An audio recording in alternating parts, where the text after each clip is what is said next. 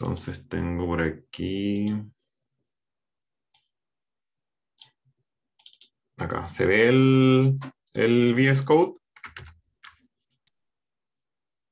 Sí, profe. Sí, ya, bueno.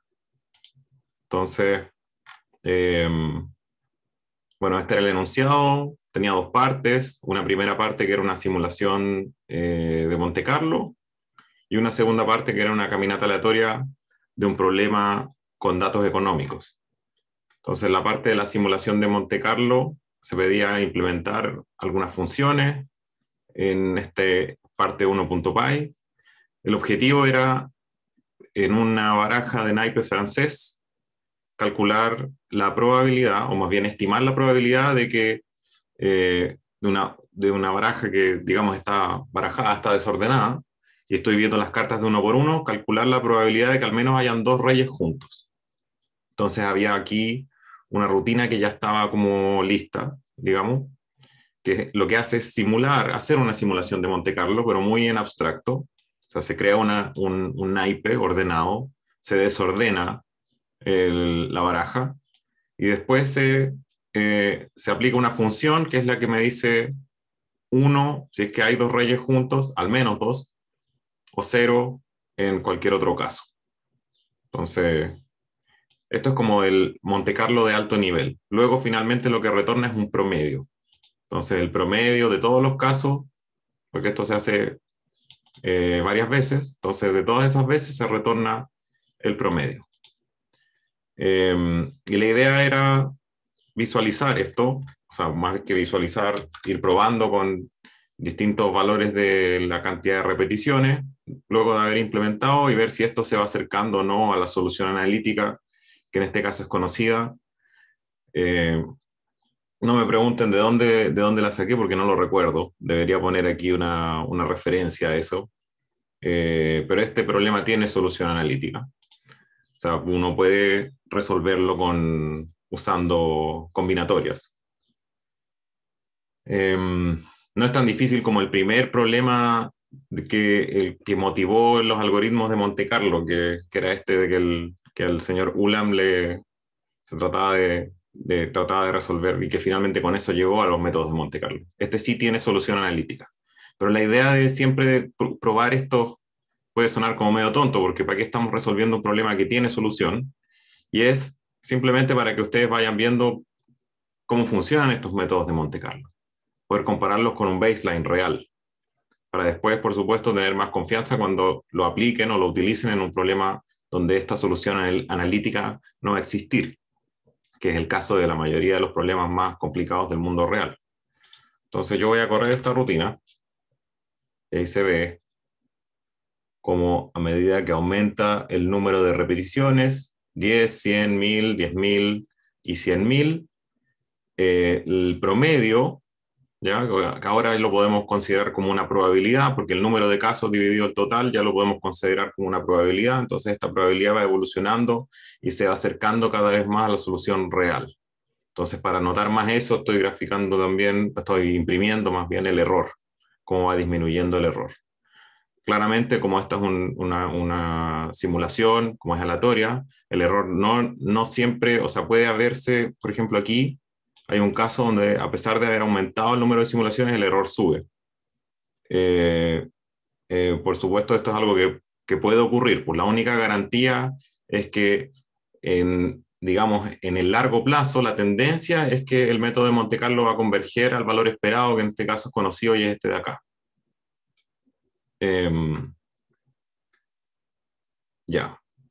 Lo otro que también se podría haber hecho aquí, por ejemplo, es hacer varias simulaciones de 10 para calcular la probabilidad varias veces y ver la desviación estándar de, esa, de esas eh, probabilidades. Y de eso deberíamos ver que eso converge o más bien eh, va disminuyendo con el tiempo. Perdón, no con el tiempo, sino con la cantidad de repeticiones. Esa es otra cosa que podría, podría haberse estudiado aquí, pero que no se pedía. Entonces, en términos de la implementación, es bastante sencilla. La mayoría resolvió este problema, este problema súper bien y de manera muy limpia. Eh, la creación de la baraja, simplemente concatenar, concatenar caracteres, es un problema como más de Python que, que de otra cosa, pero siempre es bueno eh, practicar un poco.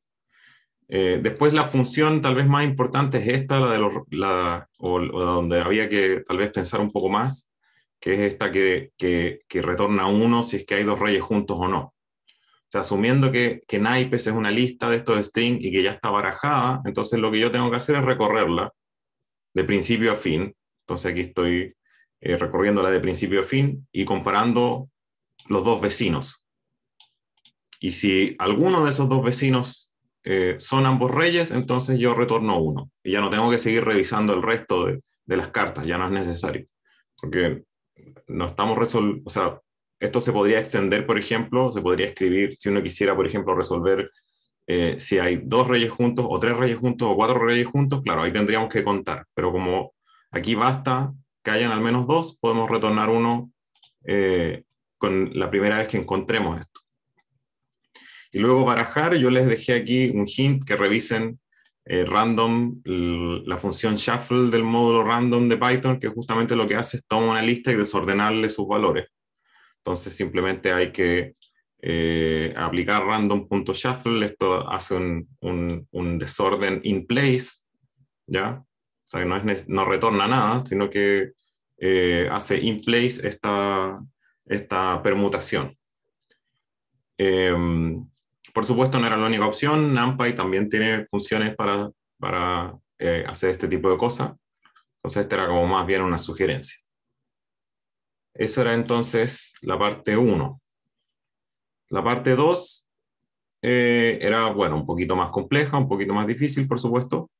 Eh, hay un modelo, que es el que se está mostrando acá, un modelo de random walk, que eh, uno puede observarlo, o sea, se, da cuenta de algunas cosas, o sea, estamos modelando el precio en función del precio anterior, pero ese precio anterior tiene una, una constante, o más bien una, está multiplicado, ¿ya? hay una variable multiplicativa que lo está modificando, que lo puede aumentar o disminuir, em, y que es un número no negativo que está dado por esta exponencial de alfa más z de t por sigma.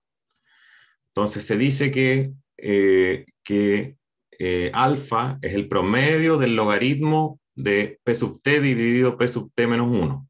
O sea, todo esto se trabajaba en cocientes, cocientes de precio actual eh, dividido precio anterior. Entonces aquí se dice que tenemos eh, estos datos de precios que están acá, que es uno por día, dos mil y tantos, dos mil quinientos días.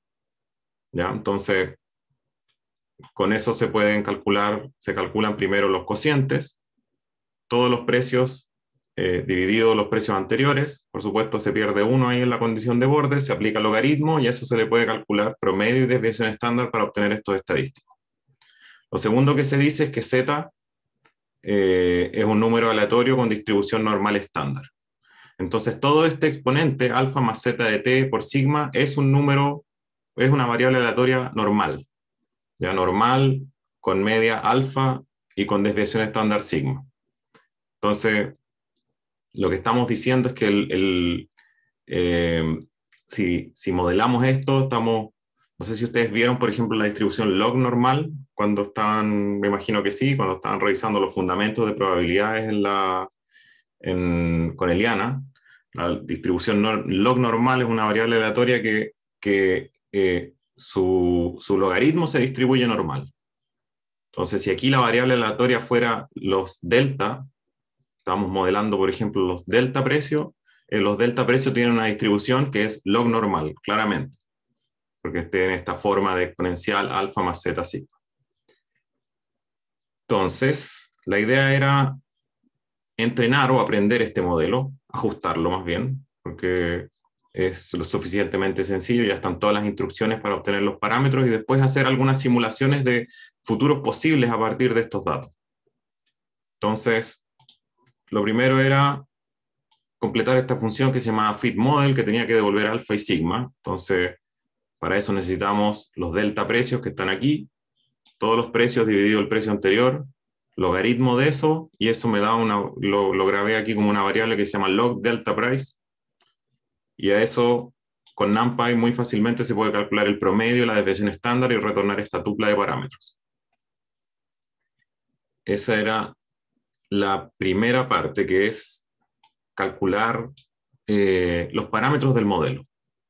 Bueno, esta era una rutina que estaba, eh, eh, que estaba como semi completa, porque se mostraba para un futuro y por supuesto esta función de aquí abajo no, no estaba implementada. Entonces aquí ya está extendida para lo que se pide, que era no solamente 500 días, sino mil veces 500 días. Explorar mil futuros distintos. Entonces aquí está para cada uno de esos mil futuros distintos y de uno por uno a medida que avanzan los días, todos parten del primer, el, el, último precio de conocido, todos parten del último precio conocido, y a cada uno le vamos aplicando esta función, que es este movimiento browniano, el modelo que estamos usando, que es simplemente el precio pasado por exponencial de alfa más z por sigma. Y lo más importante aquí, por supuesto, era eh, que esto tiene que ser un número normal, por ende, z tiene que ser una, variable normal estándar, que era lo que se decía en el enunciado. Aquí algunos se equivocaron porque usaron otra distribución, usaron una distribución uniforme y eso causaba que este número, este número nunca podía ser negativo. Entonces, las, acciones de Apple se iban así al techo. Eh, no era muy realista ese escenario.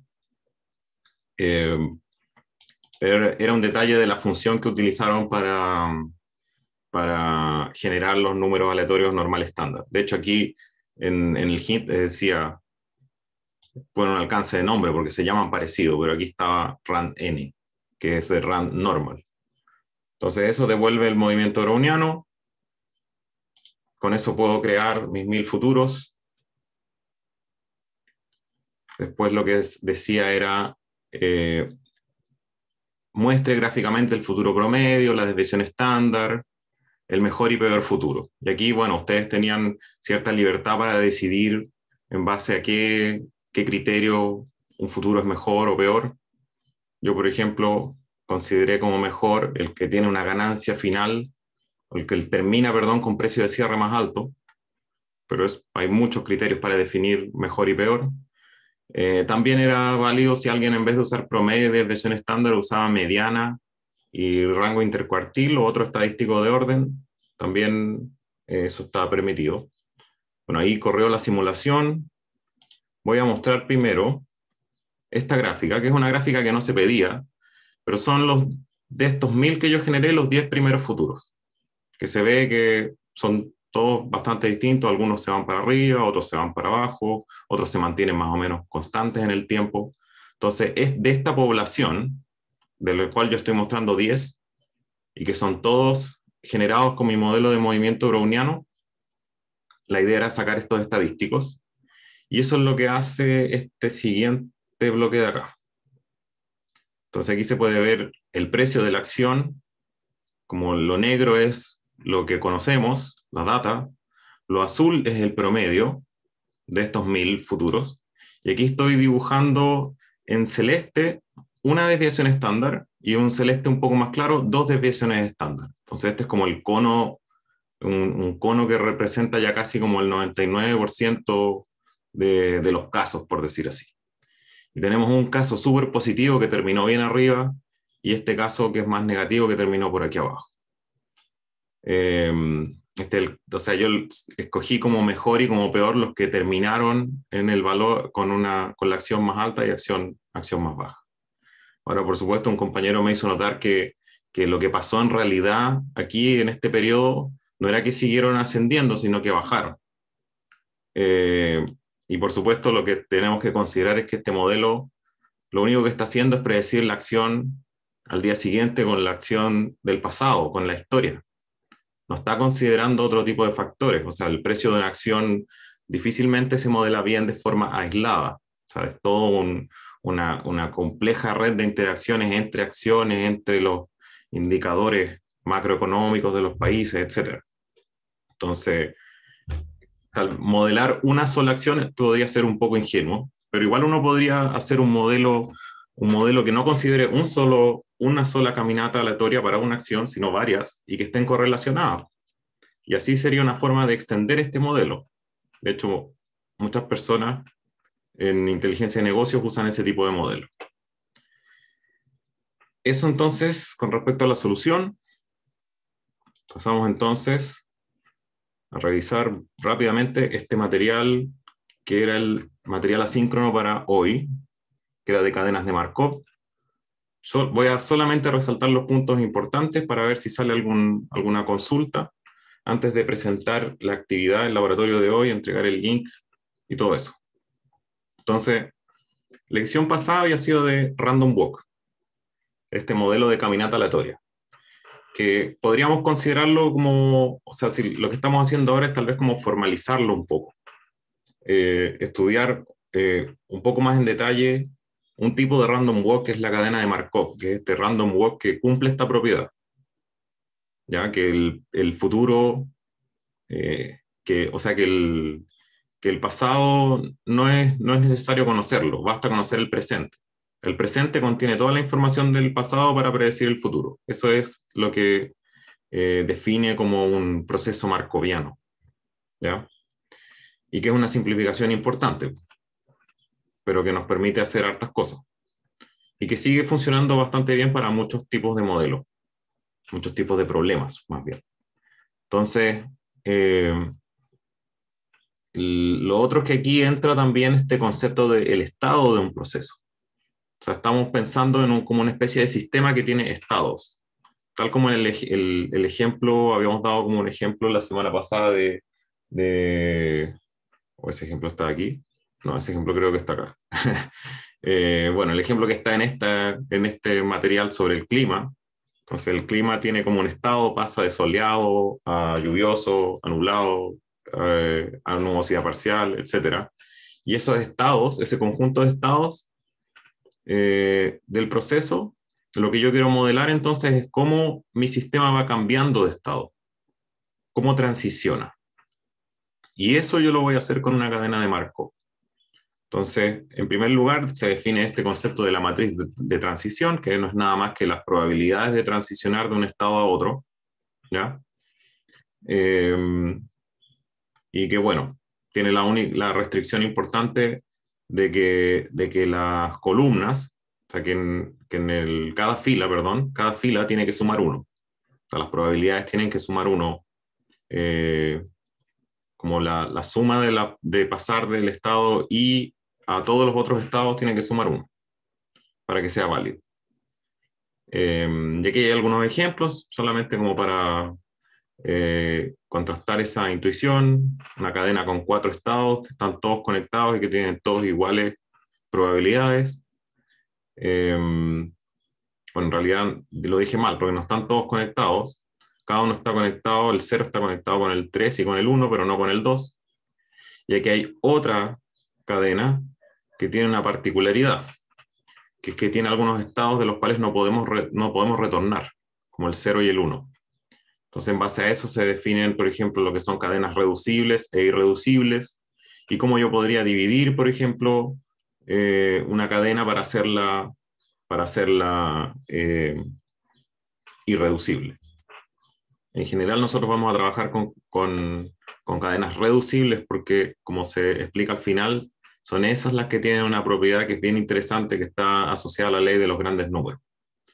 Entonces aquí está el ejemplo, ya más concreto, un, sistema de clima muy, muy limitado porque tiene solamente dos estados, eso debería decir lluvioso, no lluvioso. Entonces tiene dos estados, las probabilidades de transición, transicionar de, entre uno y otro, la matriz de transición. Entonces, esto mismo lo podemos escribir como la matriz de transición. Recordar, las filas tienen que sumar uno. Lo podemos mostrar también de forma gráfica. Entonces, aquí está como matemática, como matriz y como gráfica. Tres formas de ver como el, mismo, el, mismo problema finalmente. Y sale una pregunta, si es que hoy está soleado, o sea, si estoy en el estado B, este de acá, ¿cuál es la probabilidad de que llueva mañana? Que de hecho es algo que ya está en la matriz de transición. Pero después hay otras preguntas que le siguen que son tal vez más interesantes. ¿Cuál es la probabilidad de que llueva, de que llueva en tres días más o en una semana? O sea, pensar como en el futuro de este sistema, no solamente en el siguiente paso, sino en varios pasos más. Entonces aquí se explica un poco cómo analíticamente podemos resolver esto. Simplemente, si yo tengo un estado, lo puedo multiplicar por la matriz de transición y obtener el, el estado siguiente. Yo puedo repetir ese proceso, ¿ya? Eh, para conectar, por ejemplo, el estado 3 con el estado 0. No tengo para qué hacer cada uno de los pasos intermedios. Lo único que tengo que hacer es eh, exponenciar esta matriz.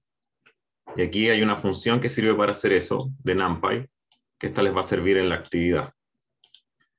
Em, después se estudia el concepto de un estado estacionario de la cadena de Markov, es decir, un estado del cual la cadena como, como que ya eh, converge, o sea, la multiplico por P y sigue en ese estado.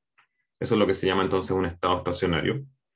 Y que en este caso se calcula, se puede calcular como analíticamente, en este caso de la, ¿cómo se llama? Perdón, del ejemplo del clima, se puede calcular analíticamente porque tiene relación con, con los vectores propios, problema de vectores y valores propios, pero se puede hacer también con, con, simulaciones, por supuesto. O sea, podemos simplemente eh, eh, tomar, por ejemplo, esto que estamos viendo aquí, y aquí lo estamos haciendo, de hecho, estamos elevando esta matriz P a un número grande, simulando como que ha pasado mucho tiempo, y llegamos a esta solución, 60%, 40%, 60 lluvia, 40 eh, soleado, que es a lo que se llega también si se resuelve el problema de, los vectores y valores propios.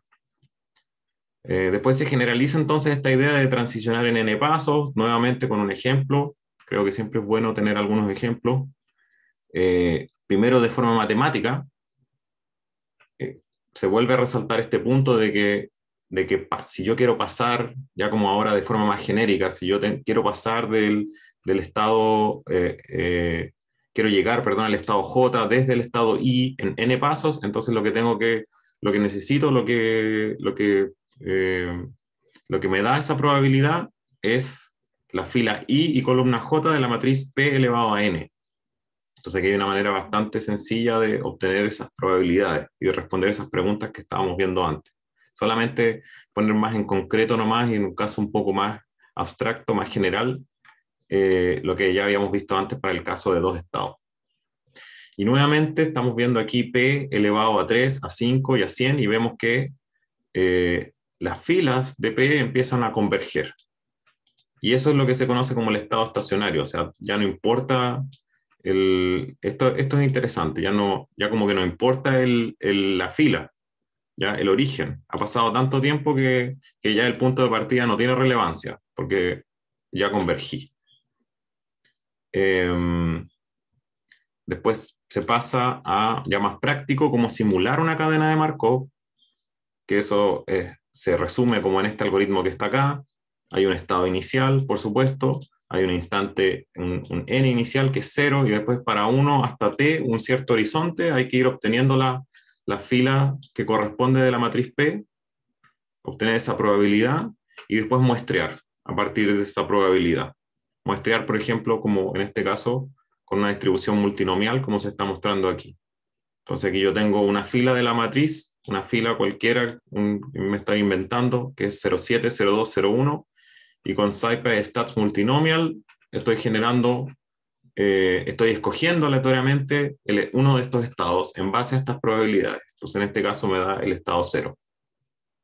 Y si yo hago esto 100, 100 veces, que es lo que estoy haciendo acá, eh, por supuesto lo que me va a retornar es algo muy similar a esta distribución de P, la que puse yo originalmente, como 70, 70 20, 10. No exactamente, a menos de que esto fuera muy, muy grande, pero por ahí.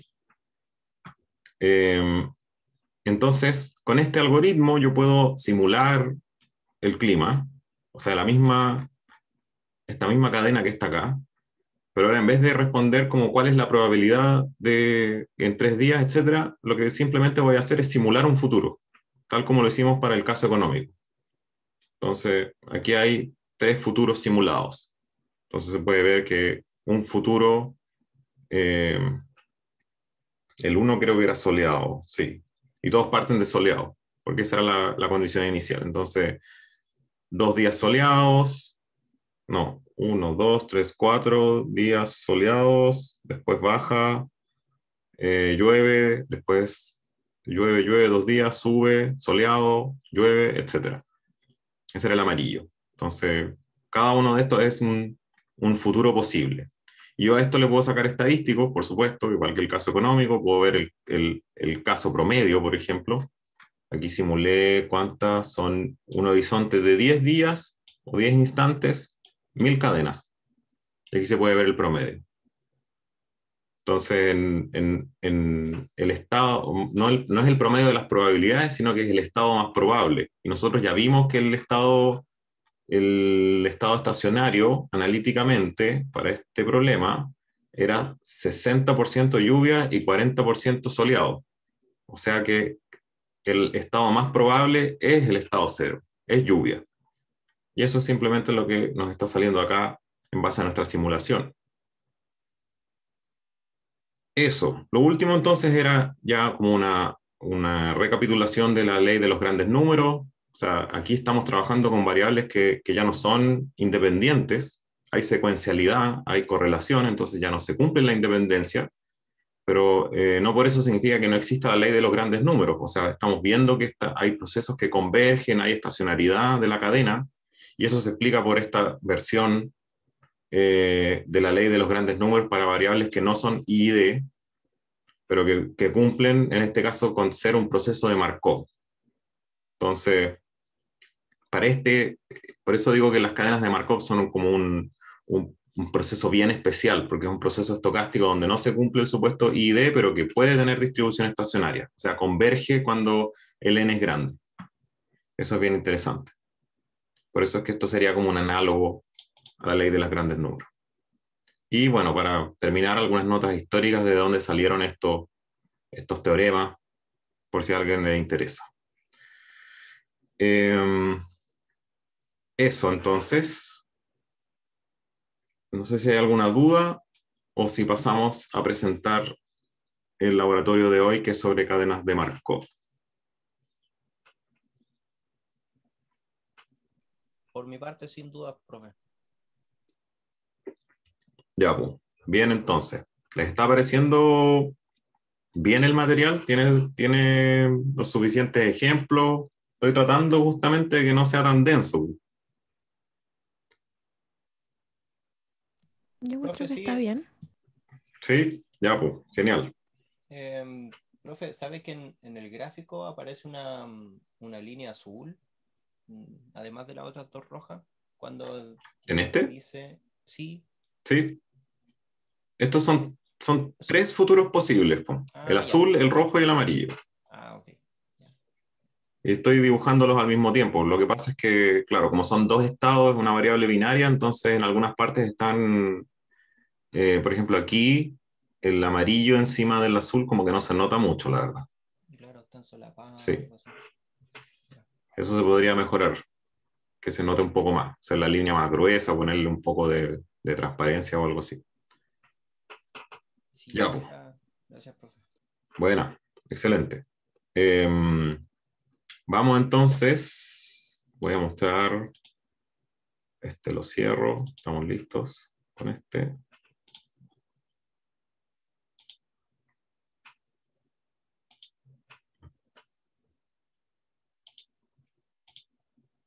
Y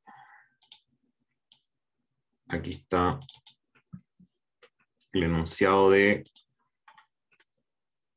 este laboratorio, laboratorio 2. Enseguida les voy a dar el link, pero antes de eso quería leerles el enunciado, porque creo que el, el, anterior eh, llegué y les di el link, pero creo que es mejor que revisemos el enunciado primero. Eh, el laboratorio de hoy tiene este título bien como chistoso tal vez, ¿qué hay de comer en el casino? Entonces, para que rememoremos nuestro querido casino de, de Miraflores, con sus apetitosos menúes. Entonces, el enunciado dice que debido al recorte de presupuesto, solamente se pueden preparar tres almuerzos. O sea, estos son, y además ya les puse aquí este, este entre paréntesis S1, S2, S3. Entonces, estos son nuestros estados de la cadena de Markov. El estado 1, tallarines con salsa boloñesa. Estado 2, porotos con rienda, pero sin longaniza. Estado 3, estado 3 arvejas con huevo. Que son, son menús reales, o sea, sacados, sacados de un menú real. Eh, para que no se note tanto que son solo tres almuerzos, el casino decide el almuerzo de cada día siguiendo una regla probabilística en base al menú del día anterior. Entonces, eh, esto ya nos confirma que estamos ante un, un proceso que es estocástico, que hay una regla probabilística para decidir y además que solamente que, que, es como de memoria corta, tiene poca historia para atrás, solamente el día anterior. Y las reglas de decisión son las siguientes. Si hoy hay tallarines, la probabilidad de que mañana hayan tallarines es 0,2, porotos 0,2, arvejas 0,6, que tienen que sumar 1, por supuesto. Si hoy hay porotos, la probabilidad de que mañana hayan tallarines es 0,6 y porotos 0,4. Si hoy hay arvejas, mañana habrán porotos. Entonces, esta es una, una cadena que no tiene ningún estado, eh, ningún como agujero negro, es una, una cadena reducible. No hay ningún estado que nos capture y del cual no podamos salir. Eh, sí, por supuesto, tienen que notar que eh, algunas son más aleatorias que otras. Por ejemplo, la primera puede pasar a tres, la tercera solamente puede pasar a un estado. No es muy, no es muy aleatoria, si uno lo quiere pensar. Y la idea es, asumiendo que el menú de hoy es tallarines, o sea, estado 1, predecir el almuerzo más probable de mañana, de pasado mañana, de tres días más y en un plazo muy largo, ya que ese entonces sería el, el caso estacionario. Y la idea es entonces responder primero de forma analítica y después usando simulaciones, para que veamos, practiquemos con las dos maneras.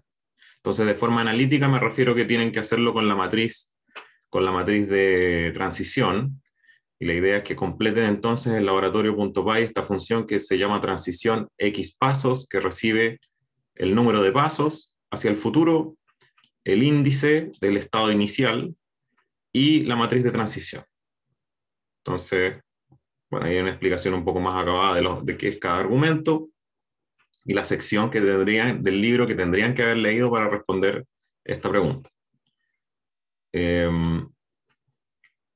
eso entonces la primera parte, o sea, la primera forma de resolver. La segunda forma es con hacer una simulación de Monte Carlo con nuestra cadena de Markov. O sea, cuando hablo de eso me refiero a hacer algo como esto.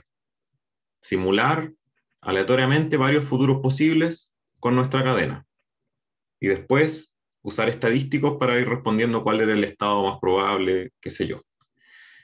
Lo que se pide aquí entonces es, eh, bueno, las mismas preguntas de arriba, pero la diferencia es que tienen que hacerlo con simulación de Monte Carlo, para eso completar esta función que está acá, que se llama Markov Monte Carlo, eh, que retorna una matriz eh, que tiene tamaño, o sea, el número de cadenas, ¿ya? Es el tamaño de la matriz, el número de cadenas que van a simular por el horizonte. Entonces, si, si yo tengo, quiero simular 10 cadenas a un horizonte de 20, esta es una matriz de 10 por 20.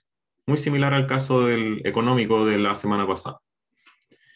Recibe también el índice del estado inicial, la matriz de transición y en este caso también un, un argumento que este no es necesario que ustedes lo modifiquen, que eh, que es la semilla aleatoria para NumPy, simplemente para un tema de reproducibilidad de los resultados. Lo mismo, explicación de lo que es cada argumento y la parte que deberían leer para eh, resolver este ejercicio, em, que es lo que está acá. Y después se pide repetir estos dos. Entonces, una vez ya, ya tienen implementado esto, lo resuelven para este caso es simplemente, no tienen que programar de nuevo, solamente tienen que repetir el experimento, tanto analíticamente como usando Monte Carlo, pero considerando que en vez de que hoy hay tallarines, como decía acá, que hoy hay porotos, o sea, cambia la eh, condición inicial. Eso es lo que cambia. Así que eso, voy a detener la grabación.